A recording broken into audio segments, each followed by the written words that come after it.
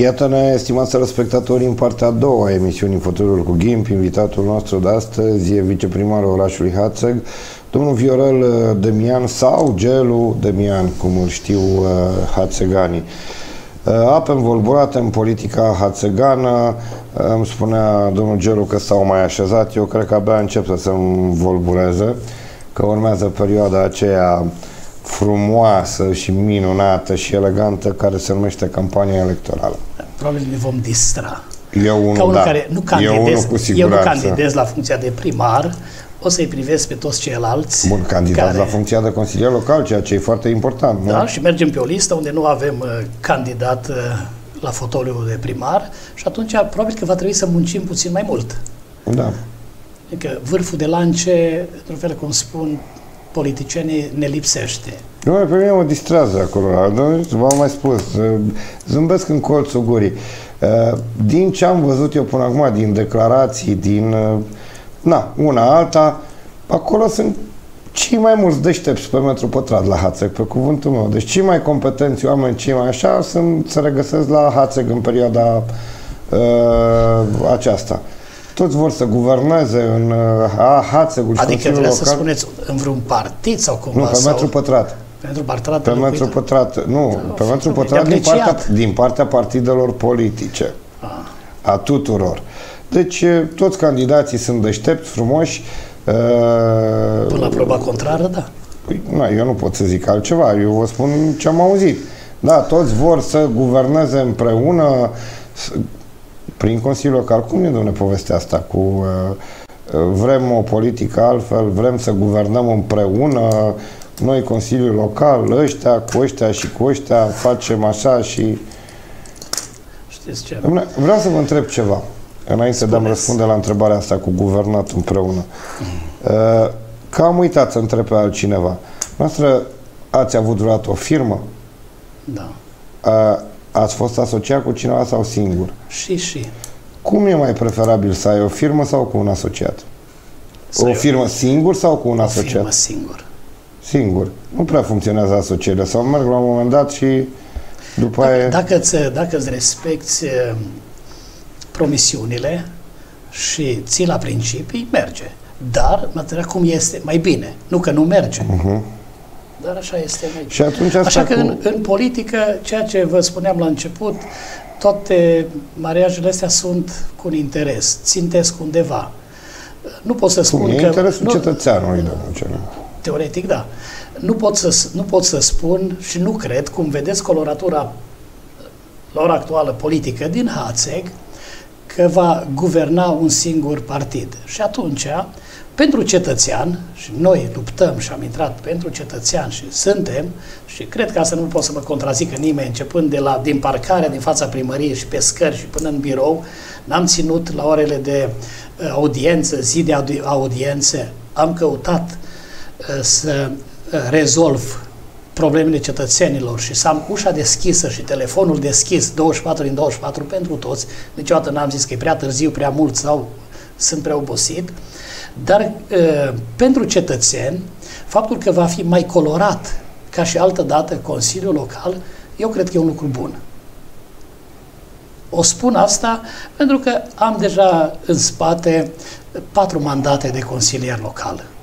Două de viceprimar și două doar simple de, de consilier. Și am trecut prin diferite etape și când au fost două partide și când au fost trei și când a fost majoritate simplă și uh, altfel de majoritate, uh, nu cred că de data aceasta cineva va putea să facă o majoritate copleșitoare, așa cum cineva credea că vor avea nu știu câți consilieri. Și eu am spus ceva uh, în prima emisiune la dumneavoastră referitor la candidatul PNL-ului că nu cred că va obține uh, acest fotoliu, nu-l va Adică câștiga. dumneavoastră nu-l vedeți primar? Mi-a spus un prieten zilele trecute, zice, mă, îmi place omul ăsta, zice, eu îl- l-am văzut totdeauna un om care stă acolo la birou, la bancă și îl văd în continuare tot așa. Și am zis, mă, zic, uite, e un lucru interesant. Da, mă rog, nu vreau să vorbim foarte haideți mult să, despre haideți să domnul, că lăsăm nu poli- este aici. politica și... Nu, Nu, dacă ar vrea să vină, uh, mi-a sugerat într-o zi că vrea să discute cu mine, eu că nu știu ce ar putea să discute, dar mi-ar, mi-ar plăcea să avem uh, o dezbatere. Ce ați spus? Mi-ar plăcea nu, să am o dezbatere. De că v-a sugerat într-o zi ce? Da, într-o zi să avem o discuție. Când? Când erau apele tulburi la Hațeg. A, atunci a cerut să întâlnească cu noastră? Da. Să ce? Să vorbiți despre păi ce? nu știu, dacă nu ne-am întâlnit. A, nu v-ați Păi de ce nu v-ați N-am avut. Eu am discutat în, în prezența tuturor, nu discut pe sub masă, nu, nu sun, nu chem doi, trei oameni, nu mă întâlnesc pe ascuns, ba la un sediu de firmă, ba la alt sediu, ba într-un oraș, ba în altul. Mergem, acum nu ne mai întâlnim prin Hațeg, ne întâlnim în Deva, în Hunedoara, să batem palma, să Hai, punem, să facem. Camora, italiană, eu tot ceea ce vă spun am dovezi. Da. La ceea ce vă spun.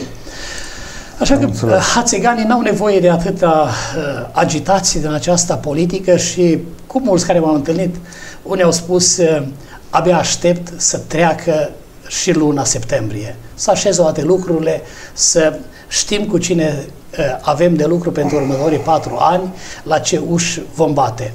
Întotdeauna le-am spus așa și le-am sugerat.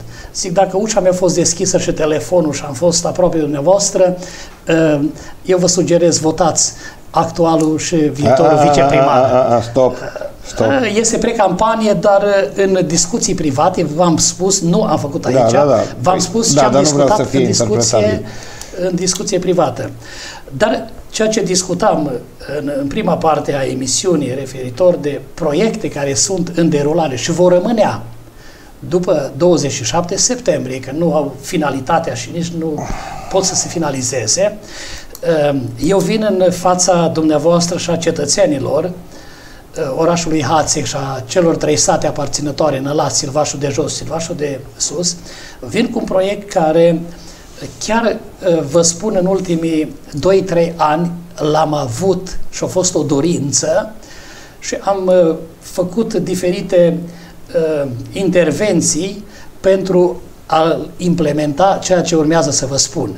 Deci aș vrea pentru Hațeg și pentru satele aparținătoare, în primul rând, aș vrea toate străzile orașului Hațeg, că Hațeg nu înseamnă numai zona centrală și câteva case unde e densitatea mai mare, și aș vrea pentru toate străzile unde a început să se dezvolte, așa cu pași mai mărunți, cum se dezvoltă orașul Hațeg, să fie în primul rând apă, canal, curent, gaz și apoi reabilitate, asfaltate și păi trotuare. așa se face.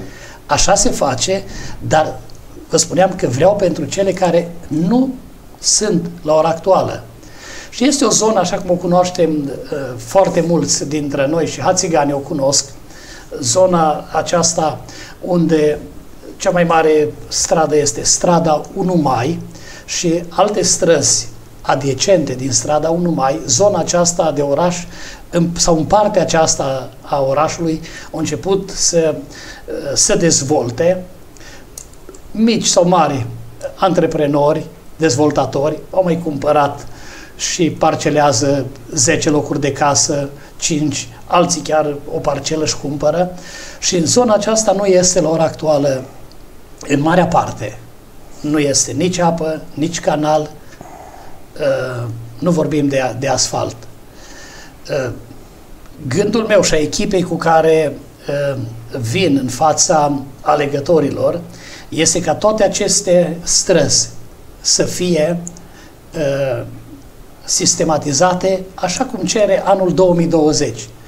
Apoi avem un cartier de case noi în uh, satul Nălaț Vad, unde noi chiar ne-am asumat, Consiliul Local, chiar ne-am asumat că vom uh, face, nu au curent, chiar e cineva și pe bună dreptate o familie destul de supărată că și-au investit acolo economiile, toate și-au făcut casa, dar nu au curent. Nu se pot muta oamenii. Pe bună dreptate. Un puț da, pentru apă o, pot, îți mai faci o fosă faci o extindere ecologică. de rețea de curent electric pe banii tăi costă destul de mult. Ă, deci, pe banii privați, da, dar la ora actuală, după cum este legea, în parteneriat cu uh, Electrica, Banat, deci se poate face. Noi deja avem uh, un istoric, uh-huh. am lucrat deja cu ei, în funcție de ei au uh, o formulă de calcul ce înseamnă pentru ei uh, cât e de eficient și o parte din bani noi uh, scoatem la licitație, vine constructorul, îl plătim și ulterior, după ce îi procesul verbal de recepție, predăm lucrarea la Enel și ei, deci de înainte e stabilit o sumă de bani care ne o returnează. Și deja avem un istoric că s-a lucrat. Așa se poate și cu curent și cu gaz.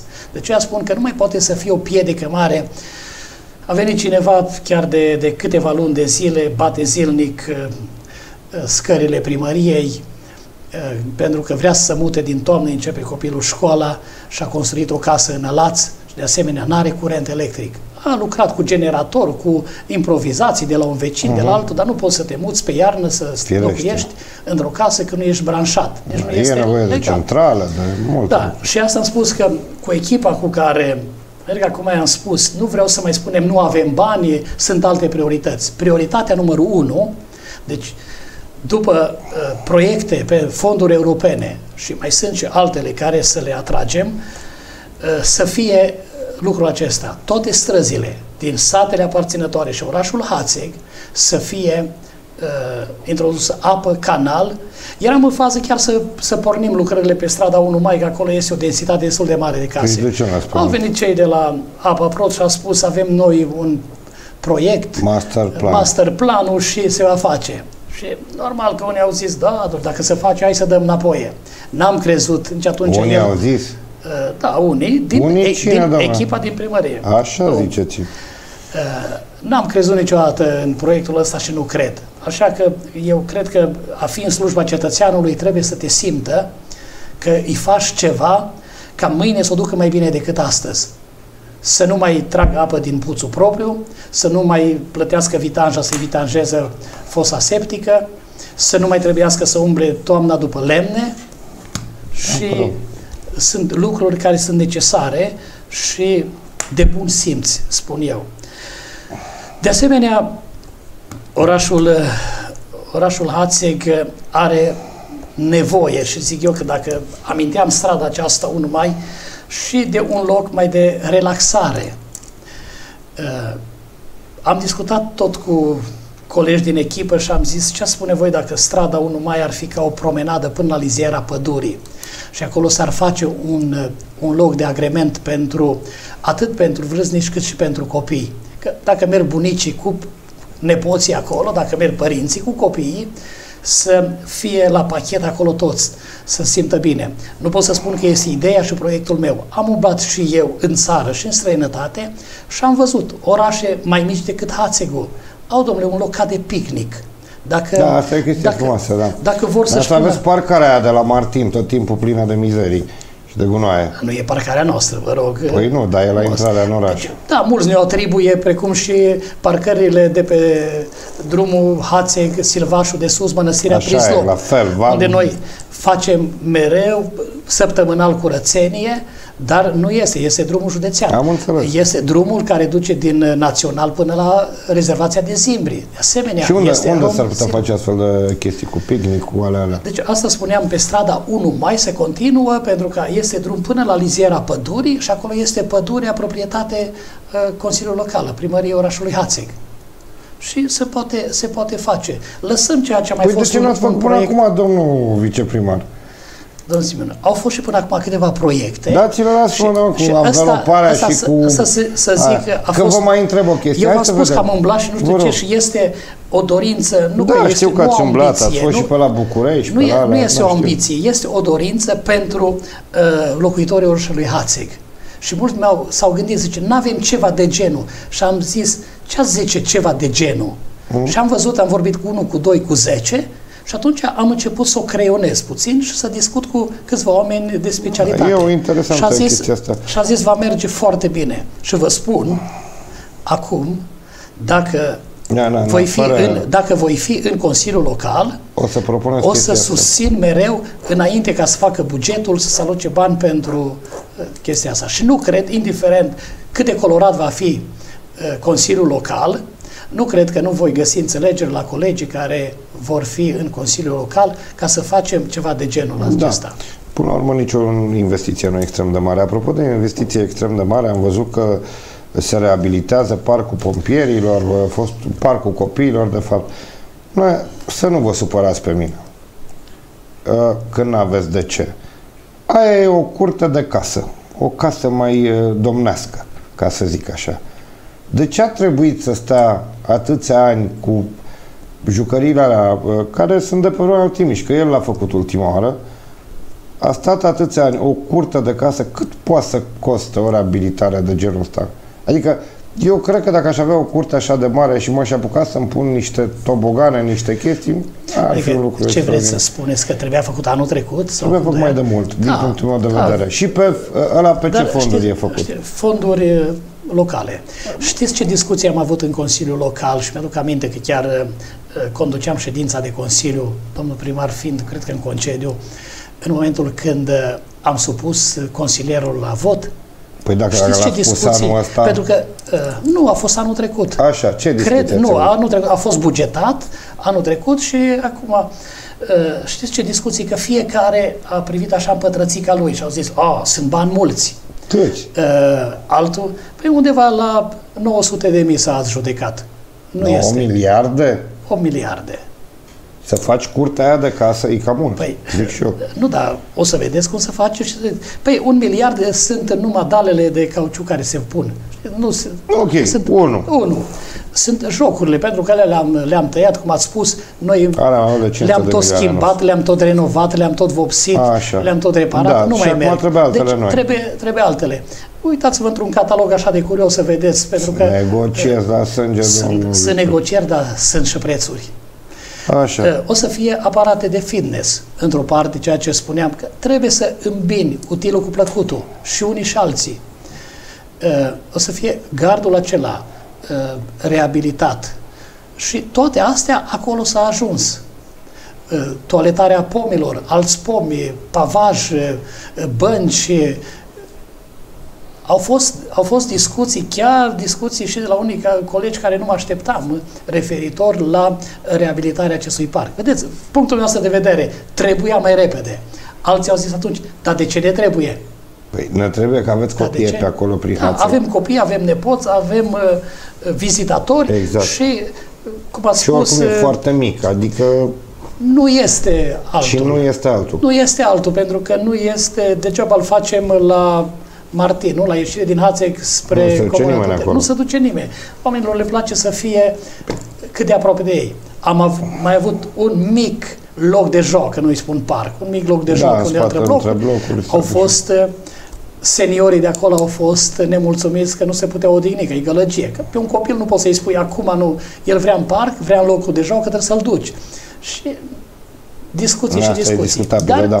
Oricum, apropo de discuții și discuții și de multe alte lucruri, trebuie să vă spun că am ajuns la final.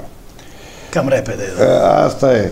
Ce să Cred că facem? n-ați ținut cont de publicitatea Uh, postului Nu, de cred televiziune. că chiar Și- am depășit uh, cu vreun minut uh, și ne îndreptăm spre două timpul alocat. Uh, Vă mulțumesc pentru prezența în studio. Dacă mai doriți, de fapt nu știu dacă o să mai avem timp, dar în campania Și eu vă- electorală Vă cu mulțumesc siguranță și- veți fi și prezent. vă salut pe dumneavoastră și telespectatorii noastre, dorindu-le multă, multă sănătate. Da, am înțeles. Ne vedem în campania electorală unde vom discuta altfel, mult mai eh, interesant, eh, zic eu, deși interesant este, eh, a fost și discuția de astăzi și, eh, și cealaltă. Aștept să fiu invitat și sper să-mi permită timpul fizic ca să vă pot onora invitația. Vă doresc o zi frumoasă. Și dumneavoastră, eh, stimați telespectatori, eh, Viorel Demian, viceprimarul orașului Hațeg, a fost invitat la fotoliu cu ghimpi. Mulțumim și dumneavoastră pentru atenția acordată. Rămâneți cu noi, numai bine!